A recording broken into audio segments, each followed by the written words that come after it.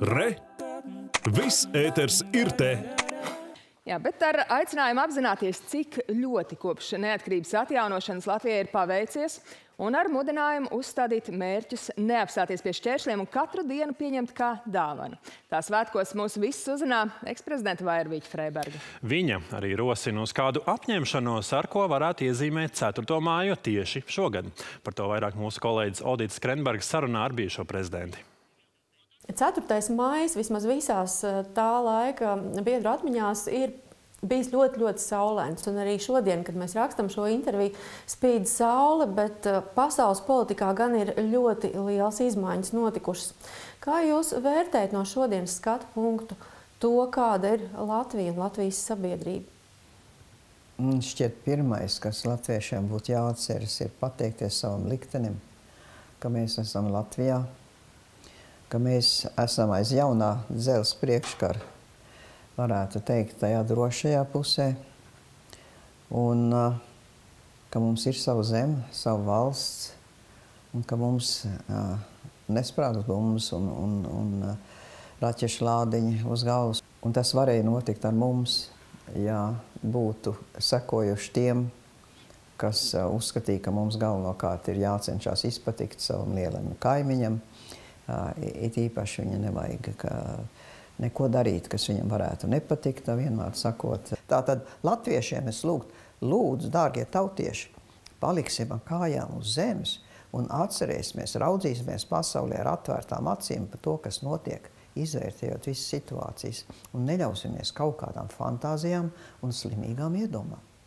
Vai jūsu pārliecība par to, ka Krievija neuzbruks arī mums, Latvijai vai kādai citai Baltijas valstī vai vispār kādai citai valstī, eh, ir nesatricināma? Man ir pārliecība, ka mēs tiksim aizstāvēti, ja, mēs, ja, ja mums gadījumā uzbruktu. Ja?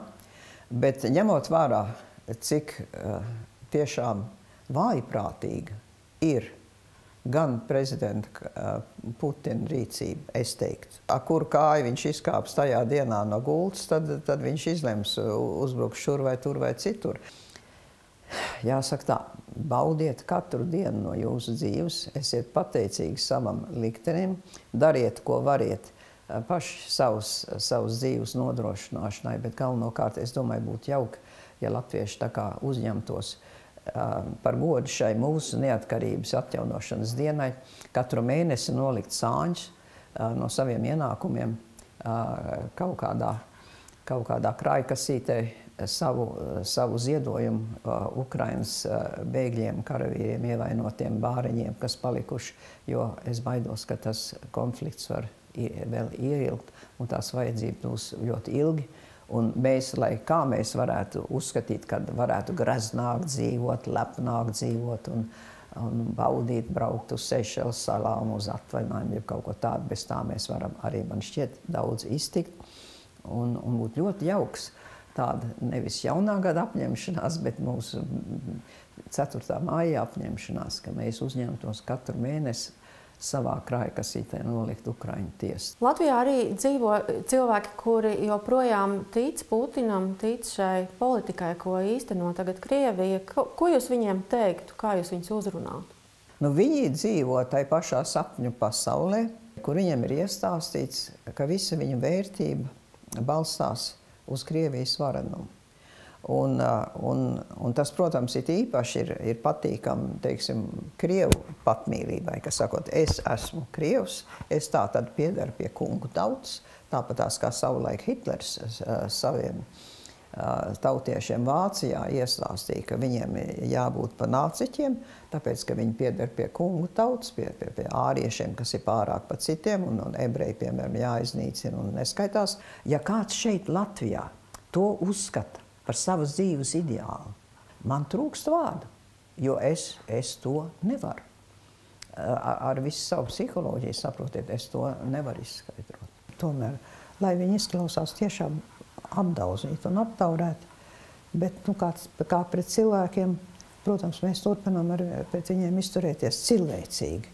Varbūt ne savā sirdī milzīgi mīlīgi ne, un, un aizraujoši, viņus, viņus mīlam, bet cie, cienīt kā cilvēks mums vienmēr vajag. Vienalga, cik at, atšķirīgas kādam var būt tās domas.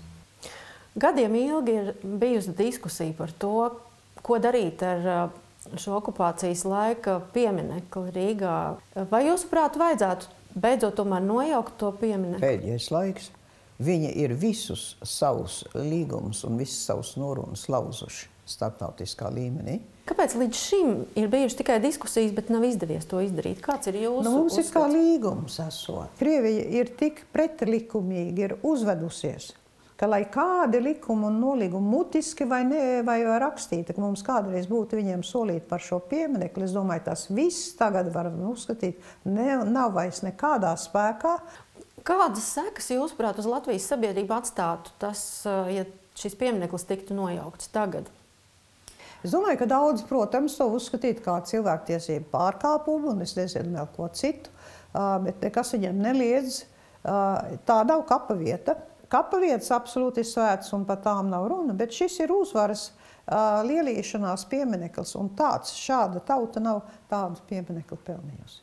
Šis laiks nu, arī tos cilvēkus, kuri nekad nav interesējušies par politiku, spiež domāt par politiku un spiež domāt par karu. Un spiež arī meklēt kaut kādu drošības sajūtu, pie kā pieķerties. Kas ir tas, kas varētu radīt drošības sajūtu? Kas jums pašai palīdz? Īstenībā vienīgā, vienīgā stabilitāte savā dzīvē ir turpināt eh, savu, savu ierasto rutīnu eh, un, un savu darbu. Tāpat kā agrāk, pēc labākās sirdsapziņas un pēc savām labākām spējām. Kas jūs pašu iepriecina šajās dienās? Ir kāds prieks, kas jums sagādā kaut kas, Umpur, kas plaukst un zied, kas, iz, kas, kas uzzied. Man tas, un, protams, mazbērni, kas aug, tas pats par sevi. Un, un ka mēs vēl ar, ar vīru ap divu mums tā laime, ka vēl būtu dzīviem, par to jāuz, es nezinu, to pret, jāizturās kā pret dāvanu. Katra diena, kas mums ir dota, tā ir dāvana. Un, un, un ne, protams, bieži liekas, ka man ka kaut kāda nasta, ja? bet faktiski tā ir dāvana. To vajadzētu sev iekalt, iekalt galvā, uzlikt sev zīmīt. Kat, katra diena man ir dāvana. Jūs agrāk teicāt, mēs esam uh, vareni, mēs esam diženi. Kur šodienas Latvijā jūs to saskatāt? Tad, kad es redzu kādu, kas seko savam aicinājumam, un, un ar sirdi un dvēseli viņam nododās, jūs saprotiet, katra viena lieta, kas tiek darīta izcili, izcept vienu izcilu torti, piemēram, man šķiet, ir sasniegums. Tā, tas ir diženums un varenums, jo cilvēks ir parādījis savu to labāko, ko viņš spēja. Kas būtu tas, ko jums gribētos šajos svētkos tieši šogad novēlēt visiem Latvijā? lai viņi izjūtu solidaritāti pret saviem līdzcilvēkiem vispār pasaulē, ja? bet sevišķi pret savu tautu, jo tas ir tāpatās kā ar, ar ģimeni. Identificēšanās ar savu tautu un, un vēlme uzlabot šo kolektīvu. Jūsuprāt, kas mūsu sabiedrībai pietrūkst visvairāk šobrīd? Un, ja jums būtu brīnuma nūjiņa, ko jūs gribētu izmainīt vispirms?